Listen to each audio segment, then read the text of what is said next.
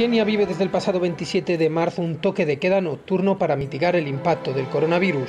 Con alrededor de 700 casos confirmados y algo más de una treintena de muertos, para muchos kenianos el peligro real de esta pandemia no es invisible ni silencioso, ya que según el recuento de grupos comunitarios de derechos humanos, al menos 16 personas han perdido la vida en batidas policiales desde el inicio de las restricciones, muertos de una violencia sistemática.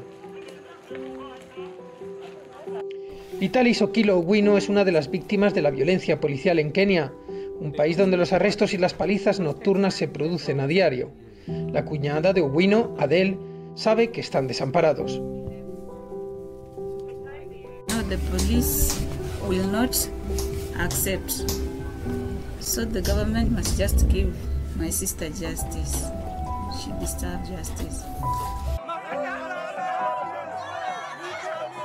Owino, soldador de 39 años y padre de cuatro hijos, se disponía a regresar a casa el pasado 3 de mayo, cuando dos policías se toparon en su camino. La reprimenda pronto dio paso a los golpes y le pegaron hasta matarle. Su cadáver permaneció toda la noche en la intemperie. A la mañana siguiente, una procesión de centenares de jóvenes al grito de no le mató el coronavirus trasladó a pie el cuerpo de Owino hasta la comisaría de Mutaiga.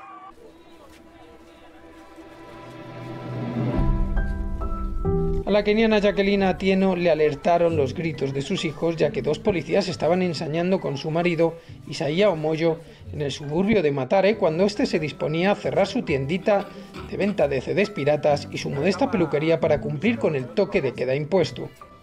Omoyo tuvo mucha mejor suerte que algunos de sus compañeros y las heridas, aunque no le permiten trabajar, no le mataron. De acuerdo con un estudio de Amnistía Internacional de 2018, los kenianos conciben los asesinatos extrajudiciales a manos de fuerzas de seguridad, la negación de servicios médicos y la pobreza como las mayores amenazas para sus vidas.